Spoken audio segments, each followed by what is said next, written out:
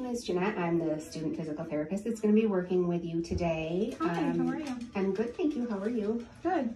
I'm just going to verify your name is Nadia? okay, very good. And I'm seeing you today for a um, open reduction internal fixation on your right um, distal radius. Is that correct? That is correct. Okay, so at this point, you are in a fixed cast Mm-hmm. and you cannot move your wrist. Um, so what we're gonna be doing today is we're gonna work on range of motion of the, um, you know, with the proximal joints. So we're gonna work on some finger range of motion, some elbow range of motion, and some shoulder range of motion, okay? Um, before we get started, um, how are you feeling? What's your pain level like? And now it's about a five. It's about a 5 Mhm. so you're kind of in some pain from it still. Yeah, your surgery was just, you know, um, your surgery was just yesterday, Yeah. so you, you, you should be feeling some pain, but they've given you some narcotics. Um, one thing that you can do um, to reduce pain as well is to keep that elevated. Mm-hmm. Um, so when you're sleeping or resting, make sure that you keep that up on a pillow. Okay. Um, and one thing that we're gonna do, are, we- are you okay to go forward and do a little bit of. Stuff right now? Okay. Um, the first thing that I want you to do is we're going to be doing some finger exercises. So I want you to hold your arm up and then we're going to bend the fingers straight out flat. And then you're going to bring them curled. And then you're going to close into a fist. Bring them back here. Put them back out. And then back up. Okay? I want you to do this 10 times in a fist. Okay, back up. Good job. Okay, what I'd like you to do that 10 times. Okay, and while you're doing that, um, you know, some precautions that you want to follow. I'm not sure if your surgeon has said anything to you, but you definitely don't want to put any weight on your wrist. So when you're getting up, you know, out of bed in the morning or whatever, you want to make sure that you don't, you know, put your hand down and push up on it to put too much pressure on that. Um, as far as gripping and lifting things, you know, some things are okay. We want you to continue on with things, you know, you should be able to tie your shoe, um, but you don't want to lift anything heavier than, say, a cup of coffee or something to drink. Um, brushing your teeth is fine.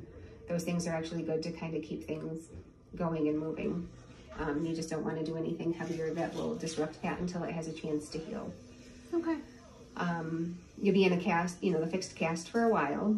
And once that comes off, then we can start working on range of motion in your wrist. Um, so that'll be different, but for now we're gonna be sticking with this.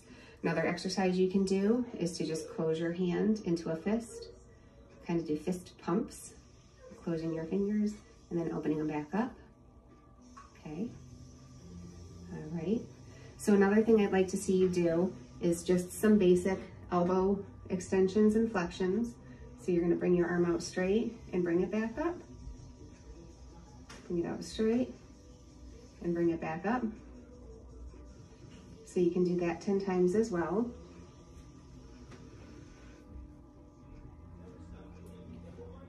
And then we're also gonna work with a little bit, and I know it seems kind of far, but we can also keep things moving with our shoulder. We're bringing it all the way up and down and back up and down. And then you can also go out to the side and do some adduction, kind of take it away. But be careful with that wrist. You want to keep that. I know you don't have a lot of room to move in here, but working the best with what we got, okay? So these are some simple things um, that I want you to continue working on when you're at home. Um, you should probably work each of these exercises that I showed you. I have printed out for you on this little exercise thing. It gives you pictures. Okay. It gives you step-for-step instructions. And it even tells you over here, what I'd like you to do is I'd like you to do each of these exercises for three sets of 10 repetitions. And I want you to keep doing them throughout the day. We're gonna do them six times a day. So, you know, obviously the first time is when you wake up in the morning and right before you go to bed at night and just space it out every few hours. You know, you wanna keep it upon your pain level and keep your arm elevated um, when you're resting.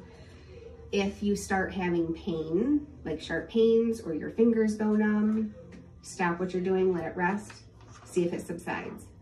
If it doesn't subside, Okay. call your doctor immediately, okay? Mhm. Um, signs that you want to watch for are, you know, any signs of infection, if you have a burning sensation, if it feels like it's, I mean, I know it's a cast, so you can't really tell because you, you may have a little bit of perspiration in there, but if you feel any other kind of drainage or if it feels wet where your incision was, um, and a foul odor, that is a sign of infection as well. So if you get, if your casts kind of get a little foul smelling anyways, but if it's, if it's pungent and it's quick, you want to make sure you have that looked at uh, Okay. right away.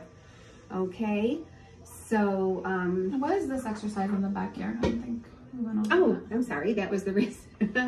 That's the wrist pro. It's a forearm pronation and supination. So what you're going to do is you can put your elbow right on here, okay, and you want to be palm up, and then you're just going to rotate your arm and go palm down. But you're you're um, you're doing this here with your forearm, Mhm. so you're going to keep your elbow still, and then just go up, palm up, and palm down.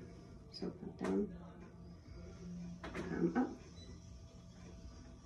So that's another one that you can do. It's just kind of keep everything moving so that we don't get too stiff.